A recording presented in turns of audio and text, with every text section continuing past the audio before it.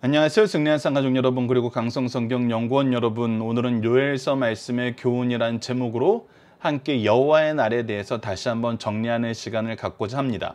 자, 요엘서 말씀에서 가장 자주 나타나는 표현은 여호와의 날입니다. 이 날은 멸망의 날로, 캄캄한 날로, 심히 두려운 날로, 해와 달과 별들이 그 빛을 거두는 마지막 날로 표현됨으로써 여호와의 징계가 선언되고 있습니다. 특히 이 선언은 하나님의 백성에 대한 선언으로 시작하여서 온 세상으로 확장되는 것을 우리가 확인했습니다.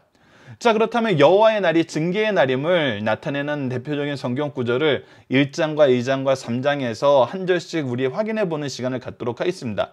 요에서 1장 15절 말씀을 보십시오. 슬프다 그날이여 여호와의 날이 가까웠나니 곧 멸망같이 전능자에게로부터 이르리로다 라고 얘기합니다. 이 날이 왜 슬픈 날이 됐습니까?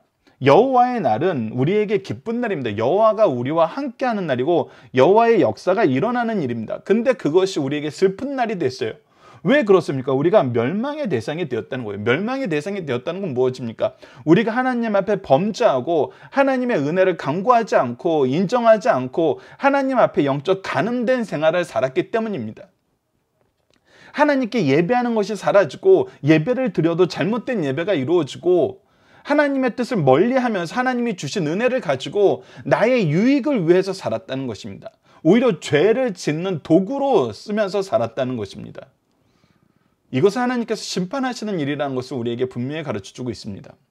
계속해서 요에서 2장 1절 말씀을 보십시오. 시온에서 나팔을 불며 그래서 이 멸망의 날이 가까우기 때문에 무엇을 하는 겁니다. 나팔을 불어서 소집하라는 것입니다. 사람들에게 깨닫게 하라는 것입니다. 모아서 알려주라는 겁니다. 나의 거룩한 산에서 경고의 소리를 질르라는 것입니다. 이, 이 여호와의 날이 우리에게 멸망의 날, 슬픔의 날, 캄캄한 날, 두려운 날이 되지 않도록 경고하라는 것입니다. 이 경고는 무엇을 하라는 거였습니까? 바로 회개하라는 것이죠. 그래서 경고의 소리를 질러 이 주민들로 다 떨게 할지니 하나님의 역사가 임박함을 깨닫게 할지니 깨달아서 떨어야 된다는 것입니다. 이것이 두려운 줄 알아야 된다는 거예요. 이는 여호와의 날이 이르게 되면 이제 임박하였느니라라고 경고하고 있습니다. 그리고 나서 우리가 이번 주에 확인했던 것처럼 요에서 3장 14절 말씀을 보면은 우리가 회개하고 하나님의 은혜를 강구하였을 때 세상은 여전히 하나님을 적대시하고 있고 하나님의 주권과 하나님의 통치를 인정하지 않고 있고 하나님의 구원의 역사와 심판이 있음을 깨닫지 못합니다. 그래서 그들에게도 뭐예요? 경고의 소리를 하는 것입니다. 요에서 3장 14절 말씀을 보십시오. 사람이 많으며 심판의 골짜기에 사람이 많으며 심판의 골짜기에 여호와의 날이 가까움이로다라고 얘기하면서 이 심판의 골짜기가 됨을 깨닫지 못하고 오히려 대적하고 나오는 사람들에 대한 경고의 말씀을 분명히 우리에게 알려주고 있습니다. 그리고 이 날을 가르쳐 주시기 위해 하나님의 역사가 있음을 미리 가르쳐 주십니다. 즉 징계를 먼저 선언하시고 앞으로 일어날 일들을 하나님의 심판임을 깨닫게 하신다는 것입니다. 자, 그래서 징계를 선언하는 내용 우리가 이미 확인했던 그 내용 다시 한번 봅시다. 우선 이스라엘 민족을 징계하는 그 내용을 보십시오. 1장 3절에서 5절입니다. 너희는 이 일을 너희 자녀에게 말하고 너희 자녀는 자기 자녀에게 말하고 그 자녀는 후세에게 말할 것이니 이것을 반드시 너도 잘 들어야 되고 잘 들은 것을 자녀에게 얘기해야 되고 자녀는 그 자녀에게 그 자녀는 계속해서 그 후손들에게 얘기함으로써 하나님의 주권과 심판이 있음을 하나님이 이 세상을 다스리고 계시고 하나님의 뜻 안에서 공유롭게 모든 것을 이루심을 알아야 된다는 것입니다.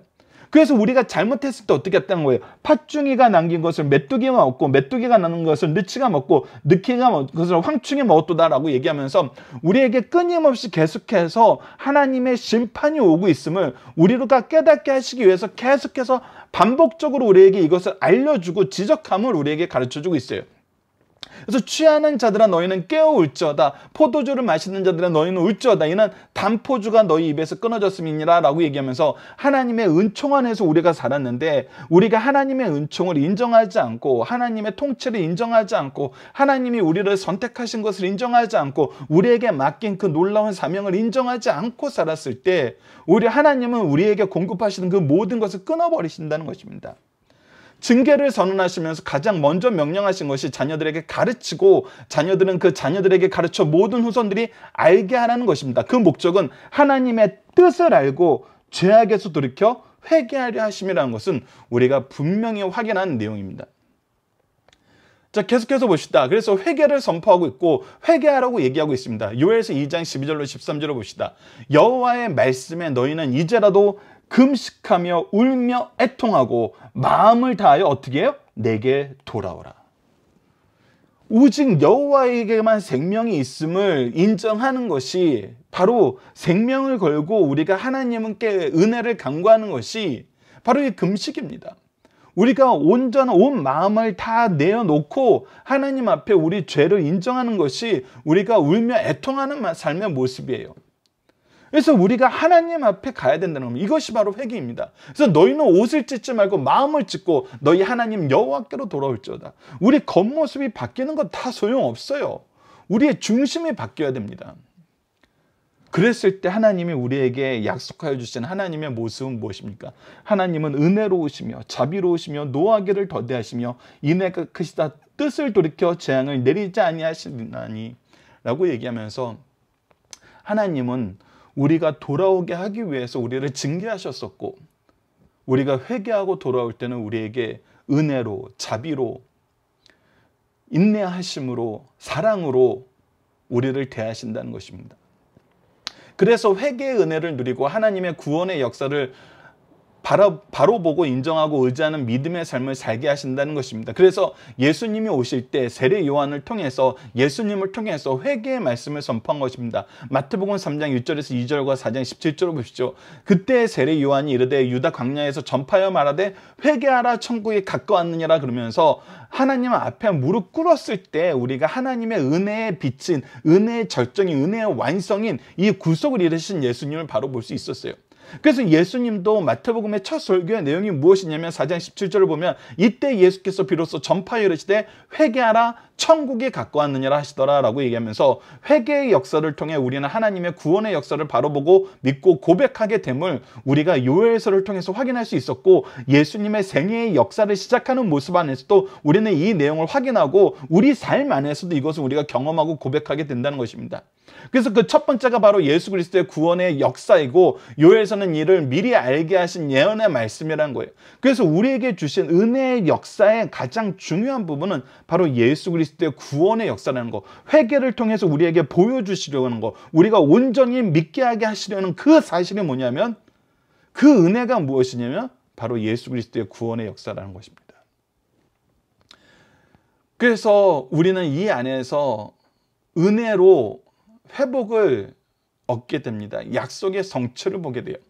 회복의 첫 번째 모습은 누굽니까? 바로 예수 그리스도입니다. 요에서 2장 23절에서 24절을 봅시다. 시온의 자녀들아 너희는 너희 하나님 여호와께로 말미암아 기뻐하며 즐거워할지로다. 우리가 하나님으로 말미암아 기뻐하고 즐거워하게 된다는 거예요.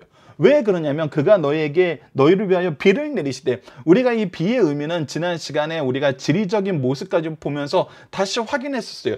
이, 우리의 이스라엘 민족의 그 삶의 터전의 모습 안에서도 이 지역은 하나님의 은혜가 없이는 살 수 없는 지역이었고 그곳을 하나님께서 이 세상의 통치 가운데서도 가장 축복이 넘치는 공간으로 만들어 주시면서 우리의 복의 근원이 하나님임을 분명히 가르쳐 주고 있어요.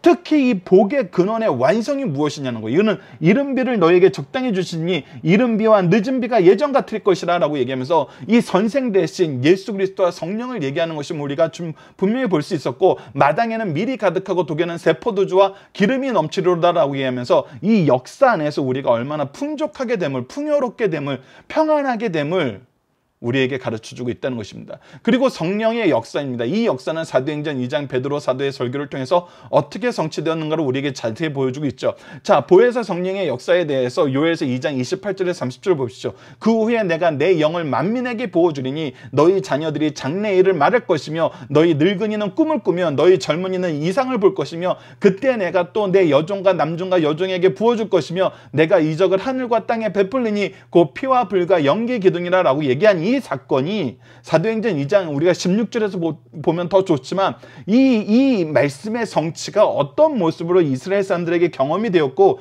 이 경험된 내용이 무엇인지 이해하지 못하는 사람들에게 베드로가 무엇을 가르치자면 이것이 바로 유엘 선지자의 예언의 성취다라는 것을 하나님이 우리에게 약속하신 역사의 성취, 성령의 역사의 성취라는 것을 선언하는 말씀이 바로 사도행전 2장 말씀이잖아요. 2장 38절로 40절 보시죠. 베드로가 이르되 너희가 회개하여 각각 예수 그리스도의 이름으로 세례를 받고 제 사함을 받으라. 그리하면 성령을 선물을 받으리니 이 약속은 너희와 너희 자녀와 모든 먼데 사람 곧주 예, 우리 하나님이 얼마든지 부르시는 자들에게 하신 것이라 또 여러 말로 확증하여 권하여 이르되 너희가 이 폐역한 세대에서 구원을 받으라라고 얘기하면서 이 역사가 성취된 것을 지금 너희들이 보고 있다는 거예요. 그래서 제자들이 나와서 얘기하는데 각각 너희들이 잘 알아들을 수 있는 모국어로 이것이 들린다는 거예요.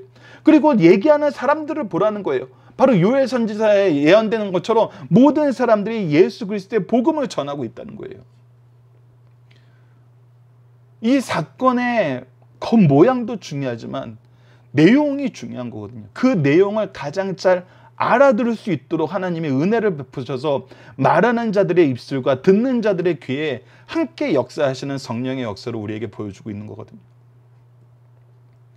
그래서 우리 교회의 사는 무엇이냐면 이 구원의 역사의 성취를 보여주는 역사라는 거예요.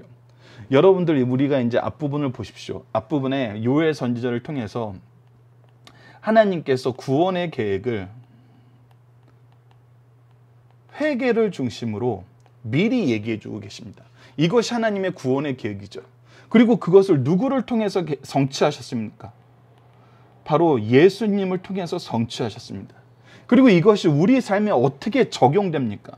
바로 성령님을 통해서 이것이 우리에게 적용됨을. 그래서 성부, 성자, 성령의 역사를 우리에게 가르쳐 줍니다.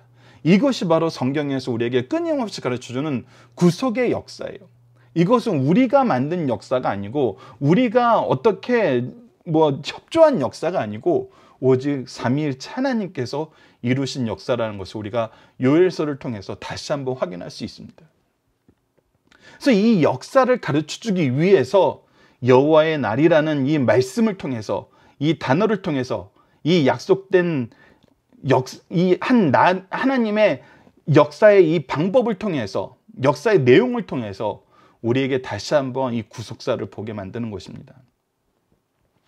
자, 그래서 이제 구속사를 다시 한번 확인해 보도록 하겠습니다. 요에서 2장 32절을 보시죠. 누구든지 여호와의 이름을 부른 자는 구원을 얻으리니 구원이 완성되자 이 구속의 역사가 우리에게 완성돼서 성령님을 통해서 우리에게 적용되는 삶을 살자 우리가 이 복음의 통로가 되고 우리가 이 누군가를 통해서 이루시는 선포하시는 복음의 내용을 듣고 우리가 그분에게 이끌림을 받게 되는 거잖아요. 그래서 이 은혜가, 이 사랑이, 이 능력이 우리 모두에게 지금 넘치도록 흘러 들어오고 있는 거거든요. 이는 나 여호와의 말대로 이것은 누가 약속하신 거예요? 하나님께서 약속하신 거예요. 시온 산과 예루살렘에서 피할 자가 있을 것이며 남은 자 중에서 나 여호와의 이름을 부름을 받는 자가 있을 것입니다. 그래서 하나님이 선택하신 그 인생들은 그 영혼들은 하나님의 이름을 부르게 되고 하나님의 백성이 되고 하나님의 능력으로 이 일을 하게 된다는 것입니다. 이것을 또 선언하는 것이 사도들의 선언이잖아요. 사도행전 2장 21절을 보시죠. 누구든지 주의 이름을 부르는 자는 구원을 받으리라 하셨느니라라고 선언하게 되는 것입니다. 그래서 요엘서 말씀은 하나님의 구원의 역사를 가르쳐 주고 하나님께 회개하고 돌이켜 약속의 성취 안에서 구원의 기쁨을 누리라고 가르쳐 주는 거예요. 그래서 이것이 처음에는 굉장히 무섭게 다가오고 있지만 사실 이것은 무엇을 가르쳐 주기 위한 거예요? 구원의 기쁨을 누리라고 하나님의 은혜를 전해주고 있는 거라는 겁니다. 특히 이 모든 역사를 통해 여호와의 날을 바로 보게 한다는 것입니다. 이 날은 심판의 날, 두려움의 날이었어요. 그러나 회개를 통해서 이 날은 구원의 날, 기쁨의 날로 변함을 가르쳐주는 것으로 3장이 마무리되고 있습니다. 그래서 3장 부분에서 우리가 다시 한번 다시 확인해야 되는 것은 여호와의 날이 구원의 날인과 동시에 심판의 날이라는 거예요. 그래서 이 구원과 심판이 동시적임을 우리에게 계속 깨닫게 하고 우리가 이 날이 오기 전에 우리는 속히 회개해야 된다는 거예요. 속히 하나님을 인정하고 하나님의 산성에서 하나님과 기뻐하는 삶을 살아야 된다는 것입니다.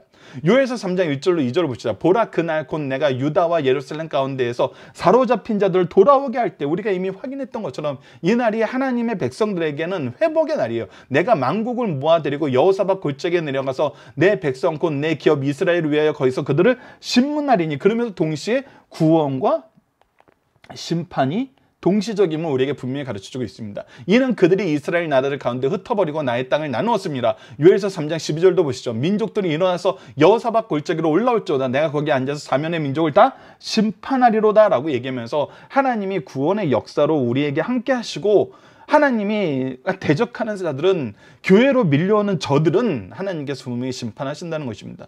요에서 3장 16절에서 18절 여호와께서 시온에서 부르짖고 예루살렘에서 목소리를 내시리니 바로 하나님이 임재가 약속된 교회를 통해서 예수 그리스도가 머리 되고 하나님의 구원의 은총으로 가득한 이 교회를 통해서 하나님께서는 세상을 어떻게 통치하시는지 분명히 나타내신다는 것입니다. 하늘과 땅이 진동하리로다. 그러나 여호와께서 그의 백성의 피난처 이스라엘 자손의 산성 되시로다. 그러면서 우리에게 피난처 되시고 산성 되셔서 우리를 얼마나 안전하게 지켜주시는지 모든 사람이 보게 만든다는 거예요. 세상은 우리를 대적할 수밖에 없어요. 왜? 우리는 예수님의 것이기 때문에. 세상은 끊임없이 하나님께 대적한 방향으로 나아가기 때문에.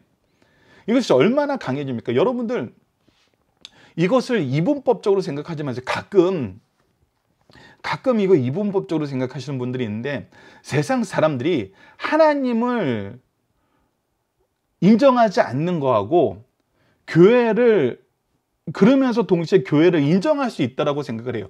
그러니까 이건 뭐냐면 하나님은 나는 믿지 않아. 하지만 너희들이 종교 생활로서 신앙생활을 교회에 사는 거는 나는 존중해. 이렇게 얘기하는 것이 아, 그래도 저 사람은 되게 무슨 정말 지성적이고 정말 이성적이고 그래도 좀 생각에 그래도 온전한 사람이네 이렇게 얘기하는데 여러분들 이거 전혀 다르지 않아요. 하나님을 인정하지 않으면서 교회를 인정한다는 것은 하나님도 모르고 교회도 모르는 거예요.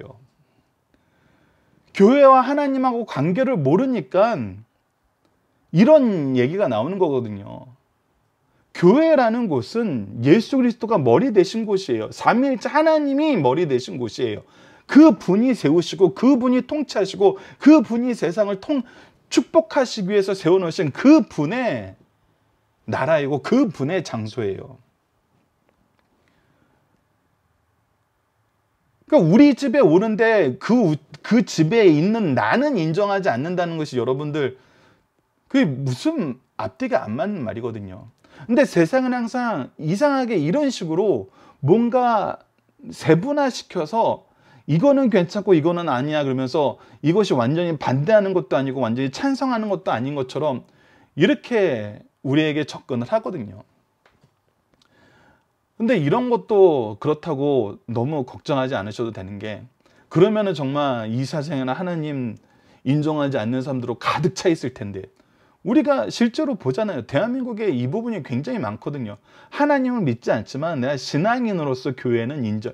이거는 아, 인정 안 하는 거예요. 근데 그들은 이런 말을 많이 하고 그런 생각을 안 가진 사람들, 이, 이 교회를 직접적으로 공격하지 않고 핍박하지 않지만 그래도 이렇게 생각을 가진 사람들은 아, 그래도 괜찮은 사람이야 라고 우리가 그래도 뭐 중립 지역에 있는 사람이 아니면 오히려 이제 우호적인 사람이라고 놔뒀는데 그 사람들까지도 결국은 우리를 공격하는 사람으로 퍼센트를 놓으면은 사실 전 세계가 거의 대부분의 사람들이 어떻게 보면 우리를 적대시하고 있는 거거든요. 근데 우리가 이거 너무 걱정할 필요 없는 것이 요엘 말씀을 통해서도 우리에게 가르쳐 주시는 것은 우리가 하나님이 우리 하나님됨을 증명하는 것이 아니에요. 하나님이 하나님 되시면 하나님이 직접 나타내세요.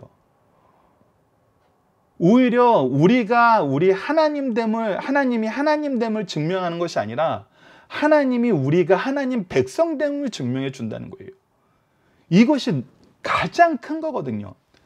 그래서 우리가 마지막 시간에 정말 착각하지 말자라고 한 것이 우리가 하나님을 대적하는 사람들 대적하기 위해서 정말 정말 안쓰럽게도 하나님이 싫어하시는 방법, 하나님의 영광이나 거룩함이 전혀 드러나지 않는 정말 하나님의 복음의 말씀이 단 한 절도 나타나지 않는 방법으로 세상과 싸우려고 하는 사람들이 있어요. 여러분들 이거는 정말 우리가 착각하는 거예요. 하나님이 하나님 되심을 우리가 증명할 수 없어요. 우리 그 정도 능력 있지 않아요. 우리가 해서 되는 거 없어요. 하나님이 하나님 되시면 하나님이 나타내세요. 우리는 하나님을 신뢰하고 의지하면서 하나님이 기뻐하시는 일을 하는 거예요. 하나님이 기뻐하시는 일이 뭐예요? 예수 그리스도의 복음을 선포하는 거예요. 누구든지 주의 이름을 부르는 자는 구원을 받으려는 이 말씀을 선포하면서 하나님 앞에 거룩하게 우리를 이끄시는 이 은혜 안에서 은혜의 통로로 하나님이 싫어하시는 거 버리고 하나님을 신뢰하면서 하나님과 함께 걸어가는 거예요. 그러면 하나님이 무엇을 증명해 주시냐면 우리가 그의 백성 되고 여호와께서 우리의 피난처 되시고 하나님이 우리의 산성 되심을 하나님이 나타내신다는 거예요. 그래서 그런즉 너희가 나는 내성산 시온에서 사는 너희 하나님 여호와인 줄 알 것이라 예루살렘이 거룩하리니 그래서 우리가 하나님의 은혜로 거룩한 삶을 살게 된다는 거예요.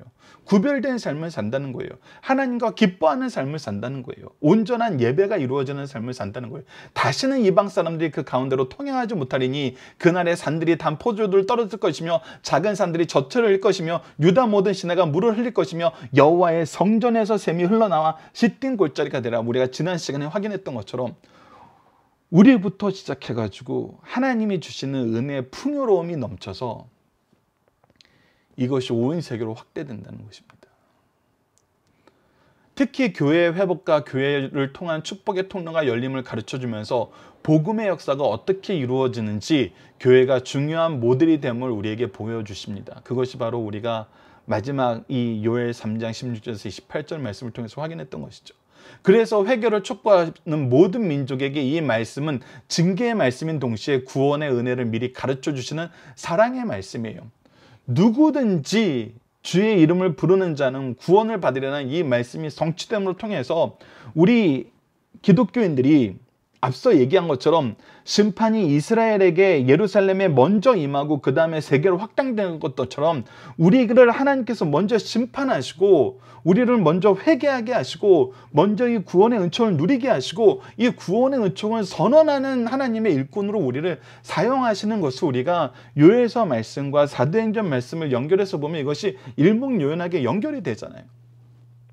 그래서 동일하게 세상 사람들에게도 동일하게 얘기해 주는 거예요. 이제 여호와의 심판의 때가 임박하니 너희들 회개하라는 거예요.